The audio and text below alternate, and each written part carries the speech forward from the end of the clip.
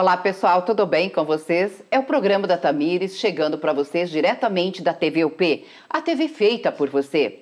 Hoje nós temos no programa Dr. Eduardo Massaruti, advogado. Nós vamos falar sobre vários assuntos, deixar vocês bem informados e a par de situações sobre doenças raras, o câncer e assim por diante. Fique conosco, porque o Dr. Eduardo já está no estúdio e vamos falar com você. Eu vou para o apoio cultural e volto já já com vocês.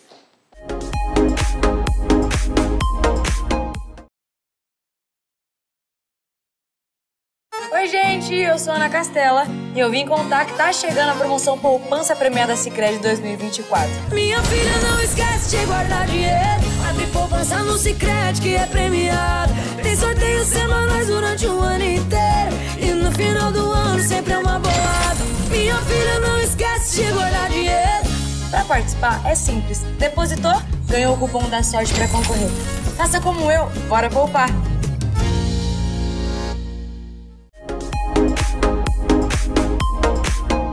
Já de volta do nosso apoio cultural, sempre em nome de Sicredi. A Sicredi é a Vale do Piqueri BCD Paraná São Paulo. Gente, o doutor Eduardo Massaruti, ele tem uma participação dia 2 de junho no documentário do Rio Grande do Sul sobre a situação dos pacientes com câncer durante as enchentes. Eu fico pensando como que ficou toda a situação dessas pessoas, das pessoas que estavam precisando de um tratamento eh, adequado, pessoas que ficaram sem tratamento na enchente. Doutor Eduardo fez essa viagem e ele vai contar um pouquinho para gente como que foi tudo. Tudo bem contigo, doutor Eduardo? Tudo ótimo, Tamires. Tudo muito ótimo, graças a Deus. É, eu agradeço aí, honrado com o convite também. É muito, muito bom obrigado. ter o doutor Eduardo Massaruti por aqui, ele é de Maringá. E anote esse nome. Por exemplo, você tem uma pessoa em casa que precisa de, de um tratamento, é, às vezes, o tratamento é um pouquinho meio complicado às vezes e você não consegue nem aquele medicamento que o médico pediu, ó, oh, precisa tomar este medicamento A e B.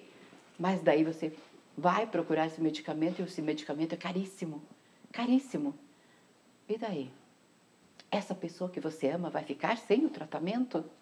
Mas você sabe que tem meios? O doutor Eduardo estará falando sobre este assunto. Tudo certo? Tudo certo. Então, vamos falar um pouquinho, doutor, a respeito da tua participação, dia 2 de junho. Você viajou, né? E até eu vi um, um vídeo que você gravou e falando da tristeza que era lá. Que na verdade ainda tem muitos lugares alagados, muitas pessoas ainda fora de casa que estão passando por um momento muito difícil de suas vidas. Rio Grande do Sul, SOS. Vamos falar um pouquinho a respeito. Então, Tamires, nós partimos para lá no dia 2, nós fomos para um, gravar um documentário a respeito da, da situação vivida especificamente pelos pacientes oncológicos, Sim. pacientes portadores de câncer, e que naquele momento da enchente, muitos estavam passando por tratamento de saúde, tiveram que interromper seus tratamentos.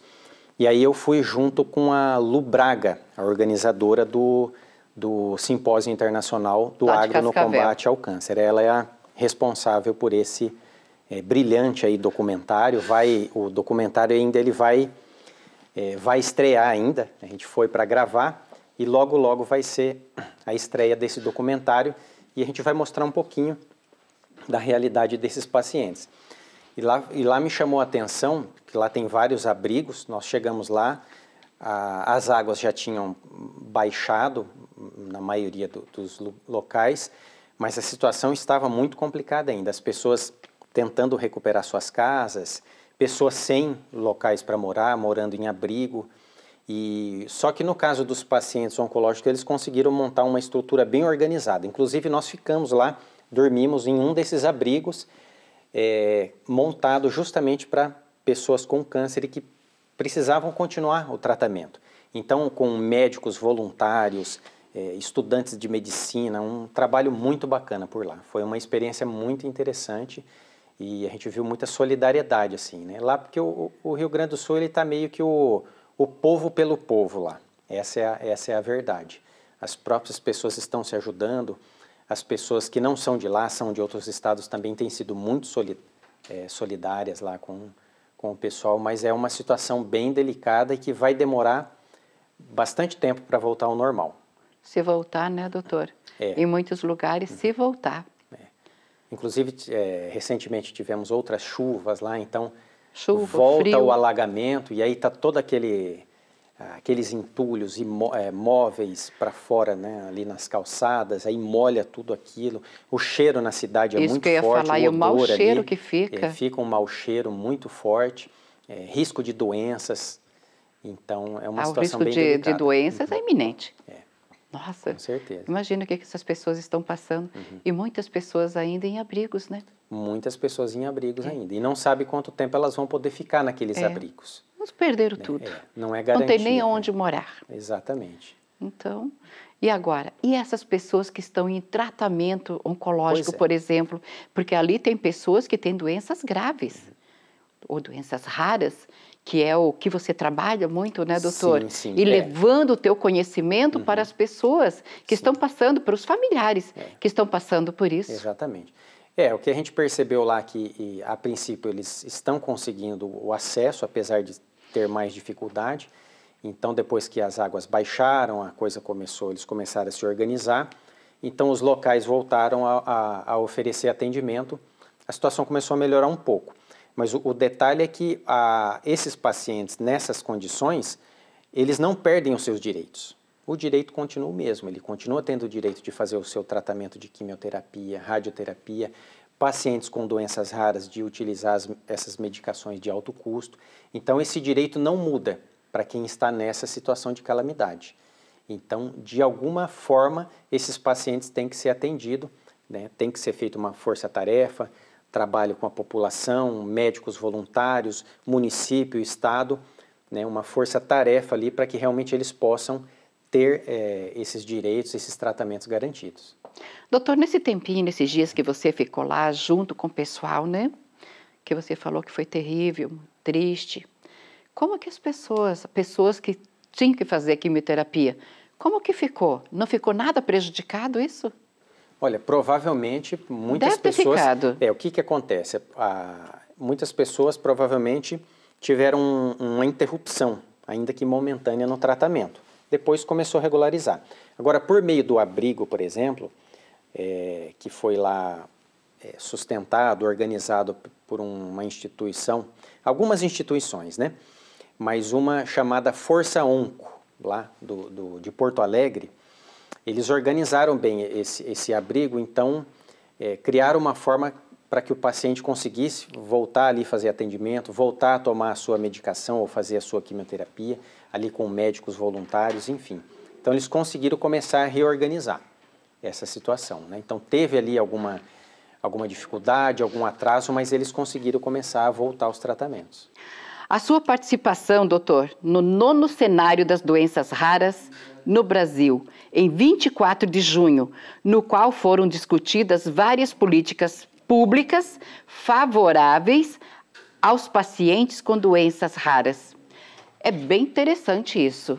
Foi muito interessante esse evento. Tamires. Sempre aprendendo muito. É, muito, muito, um, um evento muito enriquecedor.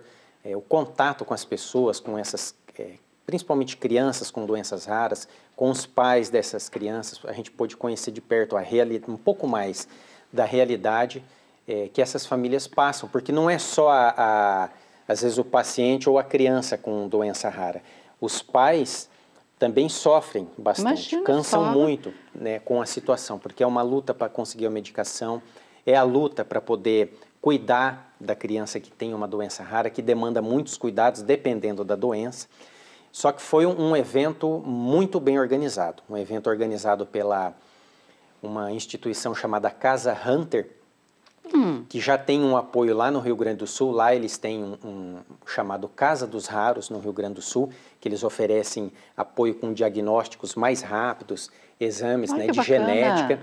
E agora eles estão com um projeto né, em andamento aí, bem avançado, para criar um hospital dos raros na capital, São Paulo. Então, muita gente vai ser beneficiada. E no, e no evento foi discutida muita política pública, certo? Muita política pública para que pacientes com doenças raras venham a ter acesso aos tratamentos, que ainda eles não têm.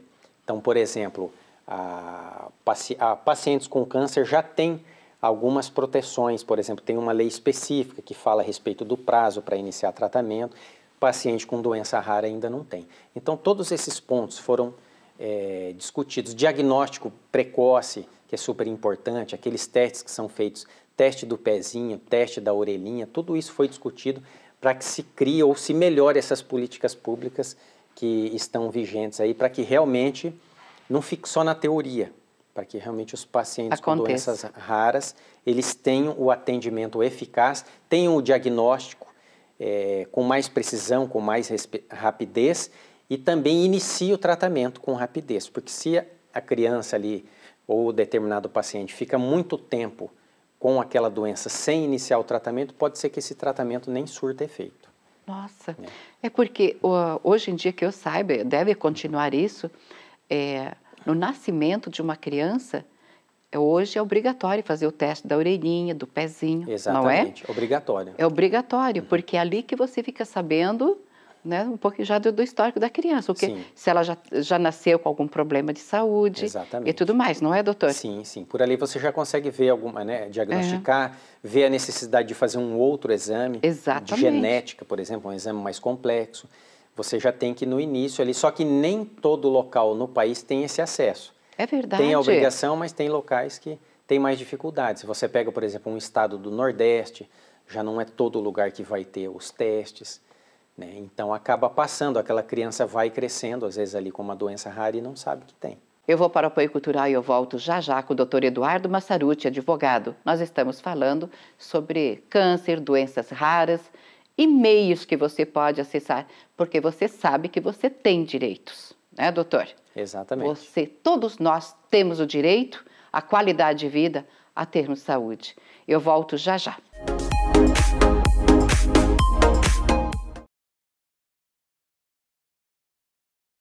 Você sabia que com apenas 100 reais você já participa da poupança premiada no Sicredi? É isso mesmo você concorre a prêmios de 5 mil reais por semana, meio milhão em outubro e um milhão em dezembro. Com apenas 100 reais você vai participar de mais de 2 milhões e meio em prêmios. Isso mesmo, vem com a gente. Já de volta do nosso apoio cultural, sempre em nome de Cooperativa Sicredi, quem coopera cresce, e Della Rosé, Dr. Augusto Legnani Neto e Ofta Vita. Doutor, a, a lei dos 60, isso aqui é bem curioso, Essa, até eu vou aprender agora com vocês. A lei dos 60 dias para iniciar tratamento de câncer pelo SUS. Não existe lei semelhante para pacientes com doenças raras. Prestaram atenção, gente? É, primeiro, o advogado vai falar sobre a teoria de perda de uma chance em perspectiva. Agora, eu estava conversando em off com ele antes a respeito até de planos de saúde cancelados Exato. por motivo de certas doenças. Fala um pouquinho, doutor. É, hoje nós temos uma legislação específica que garante, pelo menos na, na teoria, na lei, que o paciente oncológico, esse paciente que foi diagnosticado com câncer, assim hum. que ele tem o diagnóstico feito lá por meio de exames, já passou por médico e já foi prescrito o tratamento, por meio do Sistema Único de Saúde, assim que ele faz esse pedido, ele apresenta, ele tem o direito de iniciar o tratamento em até 60 dias. Uhum. Por quê? O câncer ele não espera. O câncer, ele, ele em muitos casos, ele evolui rapidamente. Sim. Há o risco de metástase, enfim. Então, ele tem que iniciar em até 60 dias. É uma situação que não vem sendo cumprida na prática, por isso que as pessoas acabam tendo que judicializar, né? que triste requerer ao Poder Judiciário para conseguir o tratamento. Mas a legislação prevê. Só que para os pacientes com doenças raras não existe essa previsão ainda. É uma outra política pública que foi discutida no, no evento que eu estive presente, para que também é, se crie uma legislação que garanta que os pacientes com doenças raras, assim que diagnosticado, também possam iniciar o tratamento aí, eu não sei se em 60 ou um prazo maior, mas que tenha ali um prazo estabelecido para a pessoa não ficar perdida, para que ela possa ter uma previsão. Em tanto tempo eu vou iniciar o tratamento, principalmente pelo Sistema Único, Sistema Único de Saúde, que é o SUS brasileiro. Agora, pelo SUS, o tratamento hoje de câncer e doenças raras, o pessoal está tendo acompanhamento, eles dão o tratamento para as pessoas? Uma boa parte sim, Tamires, mas infelizmente, no caso das medicações de alto custo, esses medicamentos que são é, importados, que realmente têm um custo muito elevado, na maioria das vezes o Estado nega. Nega ou porque não está lá naquela relação, que é a RENAME, Relação Nacional de Medicamentos Essenciais, ou nega por outros motivos. E o paciente acaba tendo que, infelizmente, recorrer ao Poder Judiciário. Aí tem que contratar um advogado ou uma advogada e judicializar para conseguir essa medicação. É, é, bem interessante isso, porque tem situações, vamos falar que você tem o teu plano de saúde aí, principalmente aqueles planos de saúde mais antigos, né? É, e chega um momento da sua vida, a idade vai chegando, e daí já aparecem situações mais graves, né? E daí você vai lá no, é, verificar no teu plano de saúde, vai lá conversar com eles na agência, tudo, e daí eles colocam aquilo lá e aquilo vai ah, entrar em andamento. Por que que às vezes demora tanto e nem sai? É, às vezes o plano demora propositalmente. O plano de saúde acaba dando uma canseira você, é, você procura saber, está em andamento, é, está em estudo. É, você pede lá, o, e o plano de saúde tem prazo. Tá? Na, na ó, existe uma resolução hum. da Agência Nacional de Saúde que estabelece lá, ó, tantos dias para conseguir uma consulta, tantos dias para uma cirurgia. Se for uma situação de urgência, tem que ter uma resposta mais rápida, mas o plano acaba também não cumprindo esses prazos. E aí o, entra a jornada do paciente. Aí passa um mês, passa dois meses, às vezes até mais tempo, e fica lá é, sem resposta. Às vezes sem uma negativa. Quando o paciente tem uma negativa, é, facilita, porque aí ele, se ele não consegue, ele vai buscar os direitos dele com mais rapidez. Mas às vezes ele não tem nem a resposta, nem do sim e nem do não. E ele fica ali esperando. E ele, ele às vezes o paciente não sabe que ele pode recorrer ali ao, ao judiciário, mesmo sem ter a resposta do plano. Ele pode recorrer pode, mesmo sem ter ao resposta, judiciário sem ter a resposta. Que aí ele vai evidenciar, olha, eu tentei a liberação, uhum. só que está demorando, eu não posso esperar a resposta do sim, sim e do não. Sim. Então não resta alternativa. Aí ele sim. tem que judicializar. E nesse tempo a doença vai agravando. Vai agravando. Então é uma, é uma luta. E você é precisa luta. fazer o tratamento. É Exatamente. onde que você tem mesmo que. Eu falo, é, tem justiça para isso.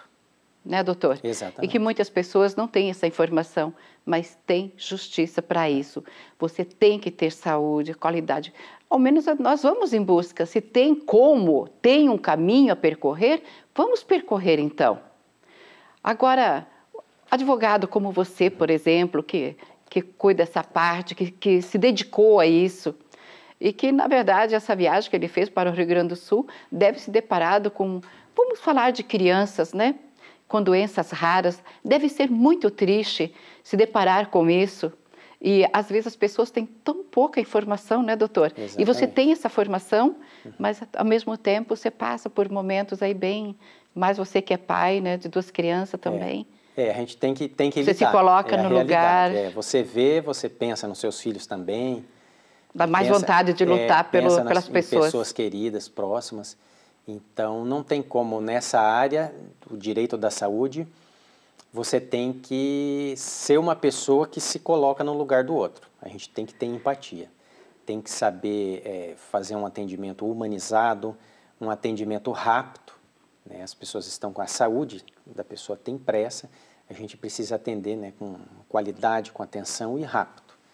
É, é, como você se deparou né, com famílias, os pais com uma criança com doença rara e você chegar ali e ver todo aquele sofrimento, a criança é. sofrendo, os pais acho que sofrem muito mais. Exatamente. Não saber o que, o que será o dia de amanhã numa situação toda. É.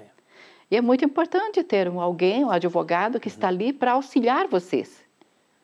Né, doutor? É, lá no, no, por exemplo, quando eu estive no Rio Grande do Sul, conversei com, no caso não era é, criança, mas conversamos com, entrevistamos lá pacientes que estavam ali com câncer, um grau muito avançado, muito avançado. Quase que terminal que é, nós falamos. Sem muita perspectiva, mas estava lá dentro da casa, é, arrumando, tentando reorganizar tudo de volta. A pessoa ali super debilitada, um, um filho ajudando e tentando, as pessoas não, não, não puderam parar, né? precisam retomar a vida delas. Então a gente viu aí por meio desse do documentário uma realidade que a gente não vive aqui e o mínimo que a gente pode fazer é tentar se colocar no lugar e ajudar. Né? Hoje em dia as pessoas podem enviar recursos e podem ajudar financeiramente é, que é uma principalmente encontrando uma, uma instituição de confiança. De confiança e, séria. e é é só tendo tendo contatos conversando a gente sempre acha. Lá por exemplo quando estivemos no abril conhecemos as instituições que apoiam esses pacientes. Então a gente sabe que eles estão fazendo um trabalho é, correto honesto ali. Então a gente pode enviar com, com, com mais segurança com mais tranquilidade. A gente sabe que o, o recurso vai ser bem aplicado quando você esteve lá, que você ficou quase que no acampamento, né, com as pessoas, você conversando com as pessoas, o teu conhecimento, você, com certeza você deu esperança para muitos também, né? Como existe caminhos a percorrer e que com certeza terá resultados. Sim, sim. Sempre que a gente pode, a gente faz isso, né? Coloca ali a. É um advogado as, bem humano mesmo, sabe? Passa a, as informações e lá eu tive a oportunidade.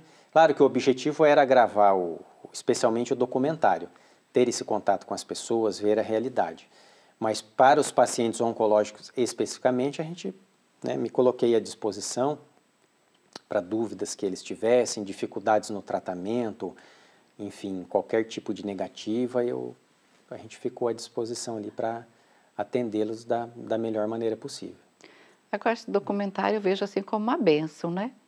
Achei muito interessante quando eu te vi no vídeo uhum. lá no Rio Grande do Sul e, e falando a respeito do assunto, o que você foi fazer lá, o que, que vocês estavam fazendo lá. Foi muito interessante, muito bacana. Imagine só quando esse documentário estiver pronto, deve ser muito emocionante. Com certeza. E, e também vai dar mais visibilidade Exatamente. A intenção também era essa, mostrar uma realidade e que mais corações fossem tocados para poder oferecer ajuda. Porque que acontece? O Estado ele vai enfrentar é, nos meses aí subsequentes uma grande dificuldade né, de recursos, enfim.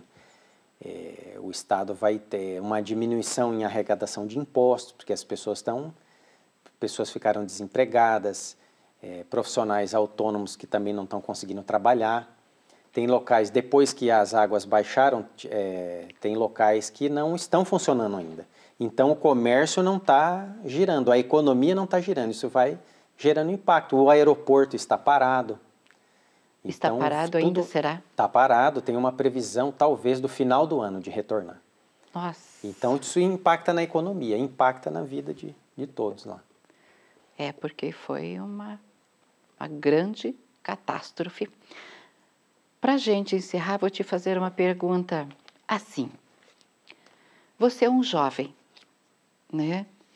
Você se formou começo ali dois, 2002, 2003? 2002. Que eu 2002, ah, você começou a trabalhar como profissional, como advogado.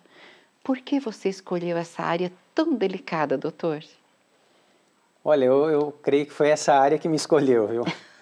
Essa área que me escolheu. Você não é uma... escolheu, você foi escolhido. É, porque é uma área que tem muito a ver com a forma como eu me relaciono com as pessoas.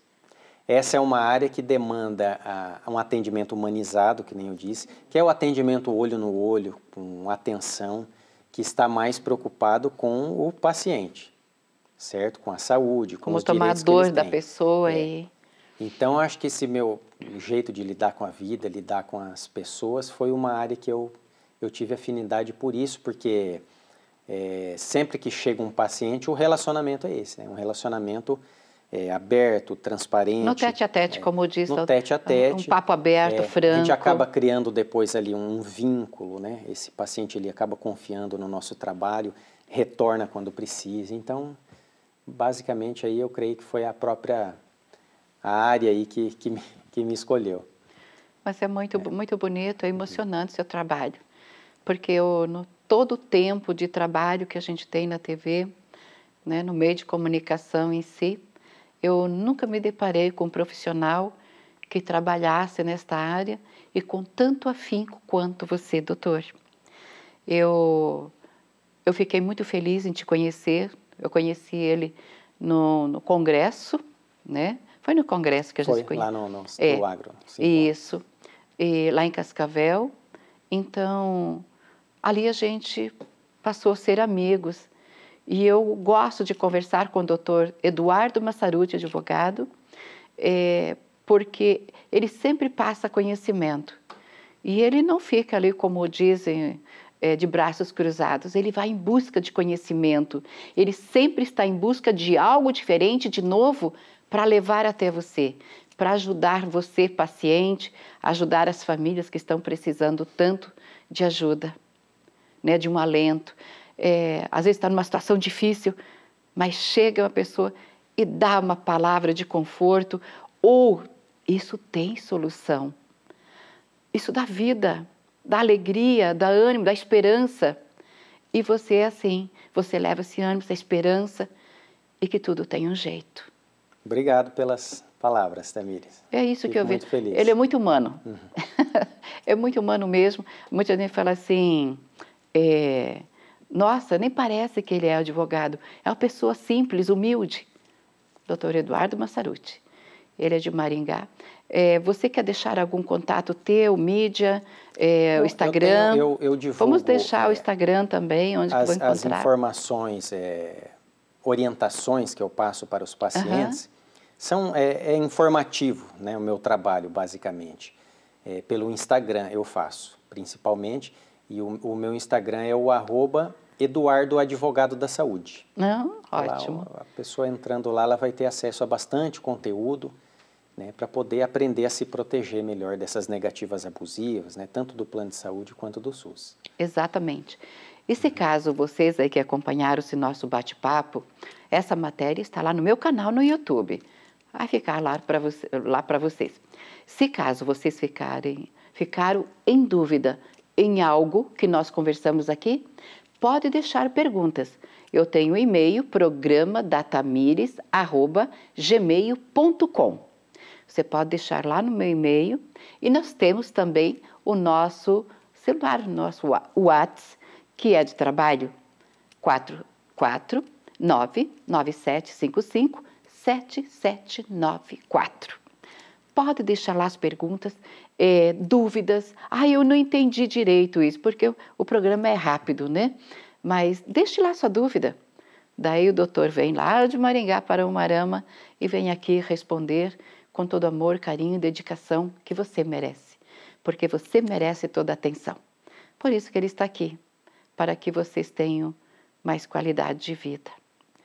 Doutor, muito obrigada por ter vindo mais agradeço. uma vez. Tá? Então procure ele lá no, no Instagram, ele já deixou o endereço aí para vocês. E, e saúde para todos. E vamos esperar o documentário que a gente vai passar aqui na TV, hein? Para que todos vocês possam assistir. Nós vamos colocar isso para vocês, tanto na TV quanto lá no YouTube. É, vocês irão acompanhar, porque vale a pena. Nossos irmãos do Rio Grande do Sul passaram e estão passando ainda muitos por momentos difíceis. E principalmente quem está aí nessa fase de tratamento e cuidando da saúde, né? Principalmente as doenças raras, que às vezes tem solução com aquele medicamento tão caro, medicamento de 600 mil, 1 milhão, 2 milhões, como já aconteceu é, de ser liberado pela justiça, o medicamento de 17 milhões. Tudo tem solução. Então, entre em contato com o doutor Eduardo e tire suas dúvidas. Ele está aí para ajudar vocês e esclarecer tudo, ok? Eu vou para o apoio cultural e volto já. E o programa da Tamires chegou ao final mais uma vez. Obrigada pelo carinho e atenção de vocês. Entre lá no nosso canal no YouTube, dê um joinha, curta o nosso trabalho. Lá tem milhares de vídeos que vocês poderão acompanhar a respeito da saúde, é, matéria que eu já fiz, eu já fiz, é a terceira matéria com o doutor Eduardo Massaruti, ele que é advogado de doenças, né, câncer, doenças raras e que pode estar ajudando vocês. Então, ele sempre estará por aqui deixando o recado e trazendo as novidades. Porque de vez em quando na lei aparece alguma coisa nova, ele estará trazendo para a gente. E nós queremos saber. Nós fazemos questão. Beijos e abraços, que Deus abençoe a todos. Eu volto a qualquer momento com muito mais informações para vocês, diretamente da TVUP, a TV feita por você.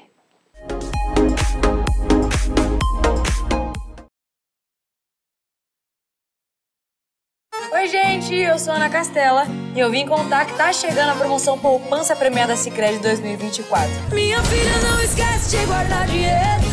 Abre poupança no Sicredi que é premiado. Tem sorteios semanais durante o ano inteiro. E no final do ano sempre é uma boada. Minha filha, não esquece de guardar dinheiro. Para participar é simples. Depositou, ganhou o cupom da sorte para concorrer. Faça como eu, bora poupar.